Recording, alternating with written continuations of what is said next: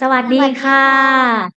พบกันอีกครั้งนะคะกับช่องจีนซีรีส์เหมือนเดิมวันนี้เป็นวันศุกร์วันศุกร์ที่เท่าไหร่คะ วันศุกร์ที่ 21 เดือน กรกฎาคม พศ256อ่า วันนี้เราจะมาคุยกันในหัวข้อเรื่อง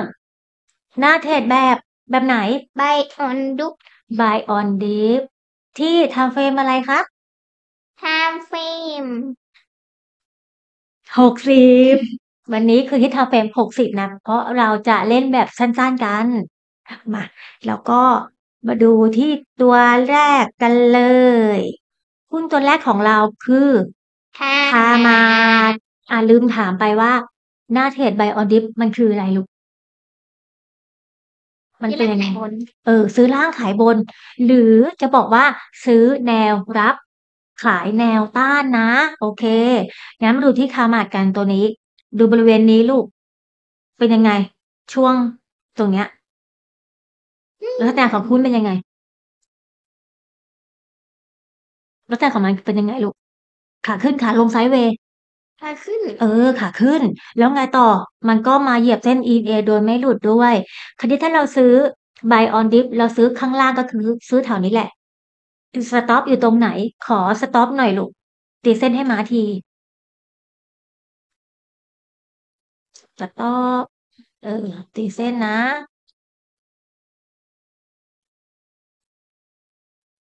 สิบสามจุดหกอะประมาณนี้ประมาณสิบสามจุดหก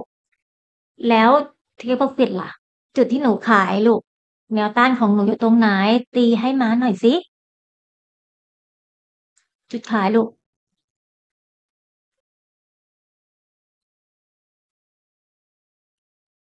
ถูกไหม มันกระเด้งลงมาข้างล่างอะลูก เลื่อนเส้นให้ถูกนะ เออ เส้นกระเด้งไปตรงไหนอยู่ตรงไหนเนี่ย อ่า จุดขายของหนูคือสิบสี่จุดหกนะ โอเค ได้แล้วแนวรับและแนวต้าน คราวนี้ก็เรามาดูตัวถัดไปลูก ตัวถัดไปคือ โมชิลูก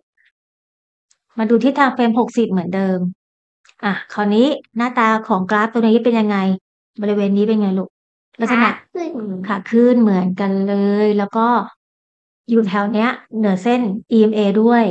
อืมคราวนี้เรามาดูว่า ถ้าเราซื้อแนวรับเนี่ย ก็คือซื้อแถวข้างล่าง จุด stop อยู่ตรงไหนลูก ขอ stop สิ อยู่ตรง อะห้าสิบสามจุดสี่นี่คือจุดสต็อปลอสนะคะ แต่บางทีตรงเนี้ยอาจจะมีติ่งก็ได้ลูกดูดิ เห็นไหมติ่งแถวเนี้ย อ่ามามาเพิ่มให้อีกจุดหนึ่งนะ ตรงนี้เป็นห้าสิบสองจุดเจ็ดให้สองจุด ตรงนี้เป็นจุด stop loss เวลาเราซื้อเราก็มารอให้มันย่อแถวๆเนี้ยแล้วเราค่อยซื้อ คราวนี้ก็แนวต้าน จุดที่เราทิ้ง profit ล่ะ ขอหน่อยลูกเทคกำไรตรงไหนลูกเทค profit หนูตรงไหน เลือกสิ อืม เอาเป็นเลขกลมๆไปห้าสิบแปดนะ ลองดูว่าถึงไหม ถ้าไม่ห้าสิบแปดก็อยู่แถวแถวจริงแรกนี่ก็ได้ห้าสิบเจ็ดลูก อะ มาเพิ่มให้อีกจุดหนึ่งอ่ากระเด้งลงมาเหมือนกันค่ะ ตรงนี้ห้าสิบเจ็ดนะ ให้จุด stop สองจุดห้าสิบสามจุดสี่กับห้าสิบสองจุดเจ็ดส่วนเทปโปรฟิตก็เป็นห้าสิบเจ็ดและห้าสิบแปดนะ ตัวนี้เรียบร้อย ตัวที่สามเป็น PSG อ่า มาดูกันทำเฟรมหกสิบเป็นยังไงตัวนี้ ในทำเฟรมหกสิบเพิ่งจะเริ่มกลับตัว เห็นเปล่าอืมเพิ่งจะเริ่มเปลี่ยนเป็นขาขึ้น แล้วมีอะไรอีกลูกนอกจากนั้นแล้วหืมเหยียบเส้นลายเหยียบเส้นไหมเหยียดเออเหยียบเส้นยังไม่หลุด เพราะฉะนั้นถ้าเราซื้อ buy on dip ตัวนี้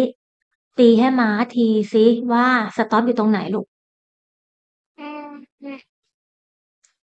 ซื้อล่าง stop อยู่ข้างล่าง ตรงไหน ตี โอเค เป๊ะเลยอันนี้ไม่ต้องขยับศูนย์จุดเก้าเป๊ะ คราวนี้ตัวเนี้ยนะ ถ้าเรา take profit อะ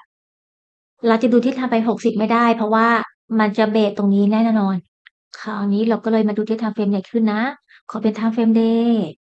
อะ หนูลองตีสิเทคโปรฟิตหนูตรงไหนดีคะ เป้าจะไม่ไกลนะ เพราะว่าเราเล่นแค่ time frame หกสิบลูกจะไม่สูงมากเราลองเล็งก่อน ตรงไหนที่หนูว่ามันน่าจะไปถึงลูกเทคโปรฟิตไม่ไกล เพราะเล่น time frame เล็ก เลือกมา ตรงไหนอืมตรงไหนดีไกลไปลูก เพราะไกลเราไปเล่นตรง time ไหน frame หกสิบอืมเราขอที่เป้าแรกใกล้ๆที่สุดเลย คือเป้านี้ลูกหนึ่งบาท อันนี้ไม่ใช่เหรอ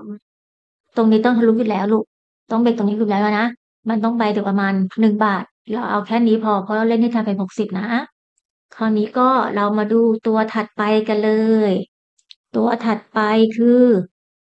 NRF มาดูที่ time frame หกสิบค่ะ ตัวนี้เป็นไซด์เวย์อยู่นะ ไซด์เวย์แต่ที่เราเอามาทำเป็นการบ้าน เพราะว่า ถึงจะไซด์เวย์แต่ว่ามีการกลับตัวตรงนี้นิดนึง แล้วก็เหยียบเส้นขึ้นมาแล้ว เราเอามาเฝ้าเป็นการบ้านได้นะ ตรงนี้ถ้าเราซื้อล่างซีรีส์หนูควรจะซื้อ อยู่แถวแถวบริเวณช่วงนี้นะ แล้ว stop อยู่ตรงไหนตีเส้นลูก stop ที่ไม่ควรหลุด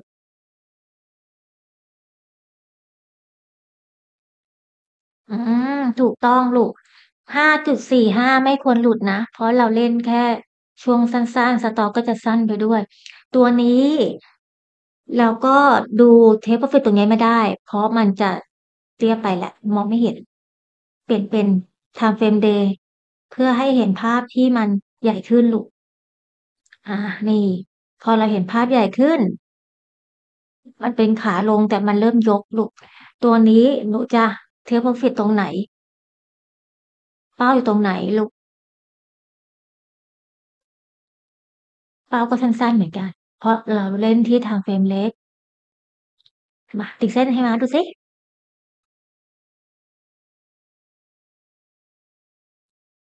ตรงนั้นก็สั้นเกินไปลูกขยับไปอีกหน่อยนะ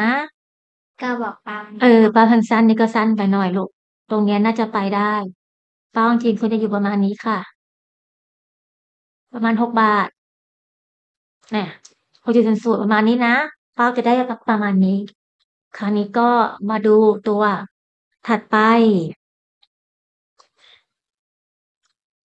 plus ลูก PLUS เรามาดูที่ time frame 60เหมือนเดิม อะตัวนี้มันจะไม่เหมือนกับ4ตัวที่ผ่านมา เพราะว่าอะไรลูกอ่าเดี๋ยวดูก่อนว่าตรงเนี้ย แต่ว่าตรงเนี้ยมันเหมือนกันนะดูช่วงนี้ มันเป็นยังไง ขึ้นไหมลูก ขึ้นไหมอืมเนี่ย ตรงเนี้ยขึ้นไหมดูแค่ช่วงเล็กๆขึ้นนะ เราไม่ต้องดูตรงใหญ่ ดูแค่ตรงช่วงสั้นๆตรงนี้ว่ามันขึ้น แล้วก็มีการยกตรงนี้ ยกโลขึ้นมา1รอบแล้วคราวนี้เราเล่น buy on dip จริง ๆ แล้วอะ buy on dip เราควรจะซื้อที่ก้น ซึ่งก้นที่จะซื้ออะมันคือก้นนี้ลูก ก้นแถว7บาท35 7บห้าเจ็ดบาท40แต่แถวช่วงนี้คือก้นของมัน แต่ตอนท้ายตลาดตอนช่วงเย็นดันมีวอลุ่มซื้อขึ้นมาเนี่ยมีแรงซื้อขึ้นมากลายเป็นว่าเขียวเต็มแท่งเสียงั้น คราวนี้ตัวเนี้ยจะต่างจาก 4ตัวที่ผ่านมาตรงที่ว่า ตรงเนี้ยตอนแรกเราจะเล่น buy on dip มันกลายเป็นว่ามันสามารถเล่นได้2แบบ คืออาจจะเกิดได้2กรณี กรณีแรกคือถ้ามันเปิด gap ขึ้นไปจะกลายเป็นหน้า break out ไปเลย ถ้ามันเปิด gap ขึ้นไปตอนตลาดเปิดปุ๊บเนี่ย stop อยู่ตรงไหนลูกตี stop ให้ม้า เกิดเปิด gap เนี่ยเราก็ต้องซื้อตามตอนเปิดไปเลย stop อยู่ตรงไหนตีเลยค่ะ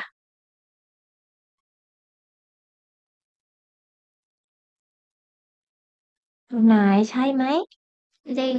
เออเด้ง หนูเขยิบตรงไหนที่หนูคิดว่า มันจะเป็นสต็อปที่ดี อืม ได้แล้วนะ 7.6 มันก็คือราคาที่ปิดของเย็นวันนี้นี่เอง แล้วคราวนี้ถ้าเกิดเป็นกรณีที่ 2 คือมันไม่เปิด gap โดดแแต่มันลงมาย่อ เราก็จะซื้อเป็น buy on dip stop อยู่ตรงไหนลูก ตี stop แบบ buy on dip ให้ม้าทีสิ กระทุกกระเออแบบ buy on dip จะอยู่ตรงไหนลูก ตี stop อีกรูปแบบหนึ่งให้ม้าเอ๊ะอัน stop เหรออืม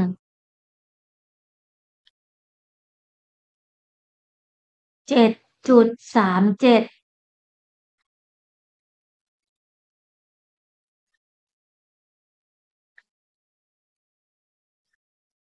มันคือประมาณนี้นะ เจ็ดจุดสามห้านะคะ เอาเลข ที่มันเป๊ะๆไปเจ็ดจุดสามห้าคราวนี้ถ้าเราจะเทคโปรฟิตล่ะลูก เทคตรงไหน ตีให้ม้าที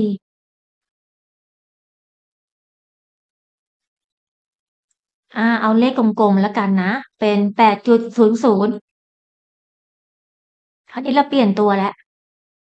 ตัวสุดท้ายของวันนี้ คือเอพี่ ดูที่ทางเฟรมหกสิบลูก ตัวนี้ก็จะคล้ายตัวเมื่อกี้ ตรงไหน คล้ายตรงไหนรู้ไหมลูก คือเราควรจะซื้อ buy on dip ใช่ปะแต่ตัวเนี้ย มันก็มีโอกาสเป็นสองกรณีอีกเหมือนกัน คืออาจจะเบรกไปก็ได้ เพราะว่าตรงเนี้ยมันมีแนวต้านอยู่บริเวณเนี้ยลูกหนึ่งจุดเก้าหรือสิบสองช่วงเนี้ย เอ้ยสิบเอ็ดจุดเก้าหรือสิบสองช่วงเนี้ยก็เป็นแนวต้านของมัน แล้วมันก็ปิดอยู่ช่วงนี้พอดี คือถ้าเกิดว่ามันมีโอกาสเปิด gap โดดขึ้นไป stop อยู่ตรงไหนอยู่ตีให้ม้าทีตัวนี้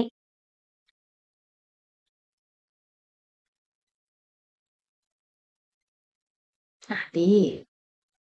stop ใช่ไหมเออ stop ถ้าเปิด gap โดด stop อยู่ตรงไหน อ่า ใช่ เพราะมันเป็นตรงแถวแนวต้านพอดี ถ้าเปิด gap โดดปุ๊บเราก็ ตามได้เลยและ stop ที่สิบสองบาทนะ แต่ถ้ามันไม่โดดยังดุ้งดิ้งดุ้งดิ้งแถวนี้ เรามารอที่แนวรับล่างแนวรับล่างก็คือบริเวณตรงช่วงเนี้ย ช่วงนี้นะ ช่วงตั้งแต่สิบเอ็ดจุดหกถึงสิบสองบาท คราวนี้ถ้าเป็น buy on dip stop อยู่ตรงไหนลูกตีเส้นให้ม้าทีลูกถูกไหม ถูก ขออีกนิดนึง สูงมานิดนึงลูก เราจะเอาตรงเส้น EMA แถวนี้เลยแต่เมื่อกี้หนูสิบเอ็ดจุดหกลูก เมื่อกี้หนูทำยังไงลูกเลยว่าตรงนี้ มันคือตรงนี้ลูก เพราะเราเป็น buy on dip อยู่แนวรับล่างอยู่ตรงนี้ลูก ตรงแถวแถวเส้น EMA ตรงสิบเอ็ดจุดหกนี่นะ คราวนี้ก็เรามาดูว่าเทคฟิตตรงไหน ตรงเนี้ยเราเห็นที่ time frame หกสิบอะมันจะไม่เห็นแนวต้านเลย เราก็จะเปลี่ยน เป็น time frame ที่ใหญ่กว่านี้คือ time frame day ลูกอ่านเรายังเป็น day ปุ๊บนี่ไงเราจะไป take profit ตรงไหนเราตีให้มาทีสิ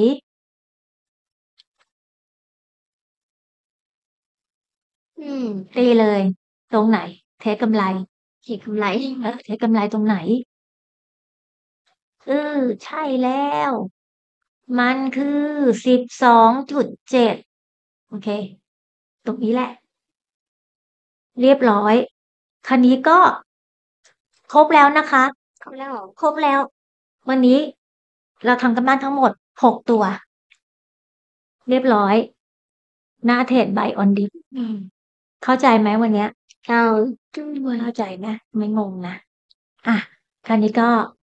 ฝากอะไรถึงพี่ๆก่อน เราจะจบกันแล้วลูกฝากกด subscribe กดกระดิ่งจะได้หาคลิปใหม่ๆด้วยนะคะ ค่ะ แล้วก็ ฝากกดแชร์สักคนละหนึ่งแชร์หนึ่งไลค์นะคะ เพื่อเป็นกำลังใจให้หนูน้อยซีรีส์ด้วย วันนี้ลาไปก่อน บ๊ายบายค่ะ เจอกันคลิปหน้า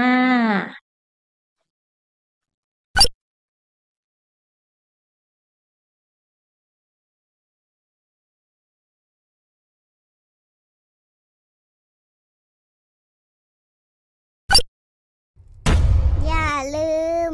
กดไลค์ กดแชร์ ติดตามช่องหลินซีรีส์ด้วยนะคะบายบาย